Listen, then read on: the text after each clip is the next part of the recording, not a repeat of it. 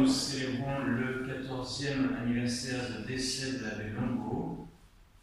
Et c'est toujours une joie pour moi de célébrer cette messe parce que, je l'ai dit plusieurs fois, mais je le redis, je pense que la présence de la fraternité Saint-Pierre à Herstal eh bien, est le plus grand héritage de l'abbé Longo.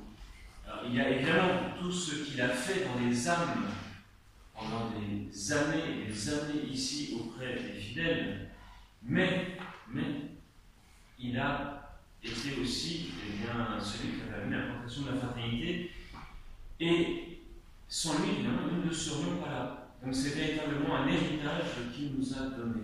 Et si vous êtes là ce soir, eh bien, finalement, c'est quelque part grâce à lui. Même si ceux qui l'ont connu eh bien, ne sont pas vraiment là ce soir, si ce n'est, n'est-ce pas, celui qui est là au fond de l'Église et qui le sait.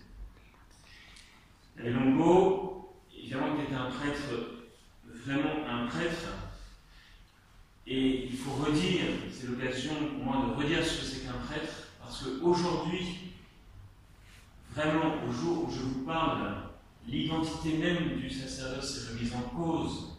Vous avez entendu parler je pense, dans les grands médias, je ne sais pas parce que je n'y regarde pas, mais vous avez dû entendre parler de la publication du livre du cardinal Sarah avec la contribution du pape Benoît XVI qui vient rappeler la grandeur et la beauté du célibat sacerdotal.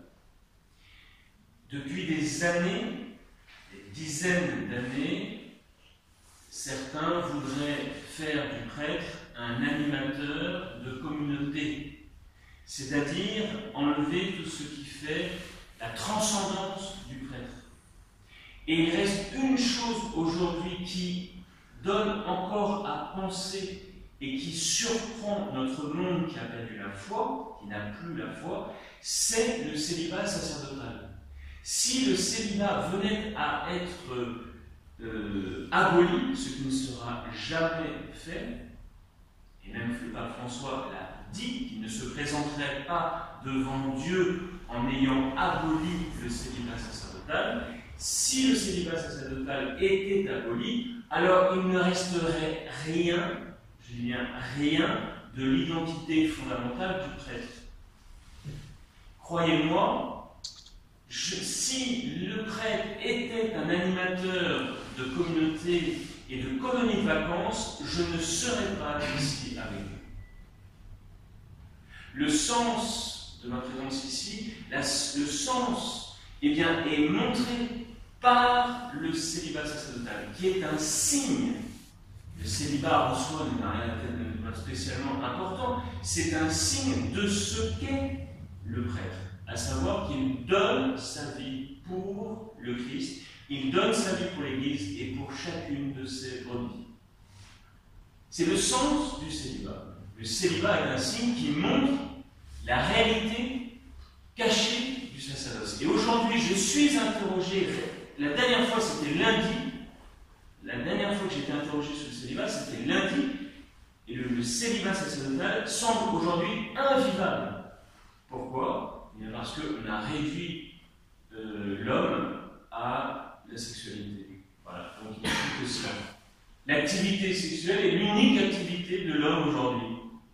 Alors évidemment, euh, là, de ce côté-là, le célibat n'est évidemment pas compris. Donc c'est la seule chose qui reste aujourd'hui qui interroge vraiment tout ce qui existe sur, cette, la surface de la Terre. Et justement, c'est pour ça que la publication du livre de du cardinal Sarah avec Benoît XVI a fait l'effet d'une bombe dans le monde depuis 4 jours. Cela montre que c'est un sujet évidemment de toute première importance. Et donc il faut se il faut rendre, il faut se réjouir, non pas que le cardinal Sarah et le, Benoît XVI soient attaqués, mais au contraire, rendre grâce pour cette attaque.